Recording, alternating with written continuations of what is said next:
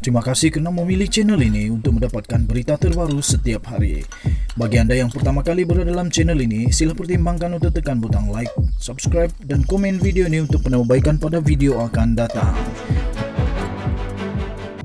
Berita politik, berita semasa, berita ekonomi, berita kesihatan, pendidikan dan segalanya ada dalam channel ini.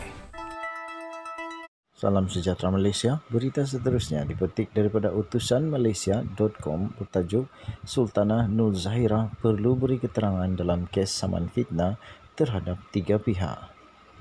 Sultanah Terengganu, Sultanah Nur Zahira perlu memberi keterangan di Mahkamah Tinggi Kuala Lumpur bagi membuktikan kes samannya terhadap pengarang Sarawak Report Clay Rio Castle Brown dan dua yang lain.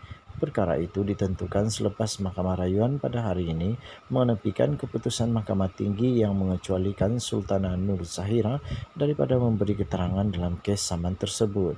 Panel tiga hakim yang diketuai oleh Datuk Muhammad Zabidin Muhammad dia yang bersidang bersama Datuk S. Nanta Balan dan Datuk Lee Heng Cheong sebulat suara membenarkan rayuan ketiga-tiga pihak.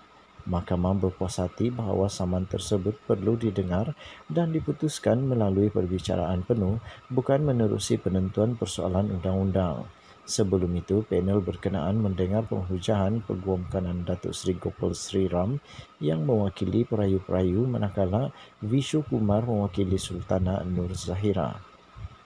Sementara itu, Peguam Datuk Muhammad Haziq Pillay memberitahu pihaknya akan mengemukakan permohonan agar Sultana Nur Zahira memberi keterangan melalui sidang video atas faktor keselamatan. Pengurusan kes ditetapkan Kamis ini di Mahkamah Tinggi Kuala Lumpur. Ketiga-tiga pihak merayu keputusan Mahkamah Tinggi pada 13 Disember 2019 yang lalu yang membenarkan permohonan Sultanah Nur Zahira mengikut aturan 14A Kaedah-Kaedah Mahkamah 2012 iaitu supaya kes saman itu diputuskan melalui isu undang-undang.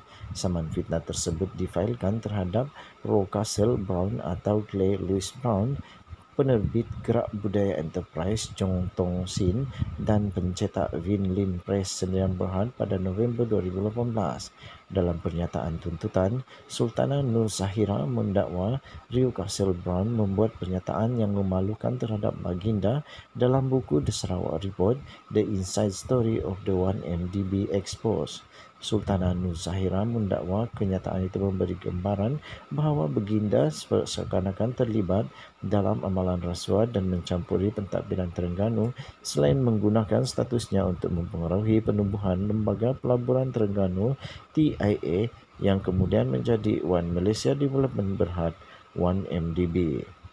Baginda mendakwa kenyataan itu juga memberi gambaran yang baginda telah menolong ahli perniagaan dalam buruan Jolo atau Lotek Jo untuk menjadi penasihat TIA. Sultana Nur Zahira mendakwa kenyataan tersebut telah memfitnah dan merosakkan reputasi baginda kerana baginda tidak pernah mencampuri pentadbiran negeri dan penubuhan TIA.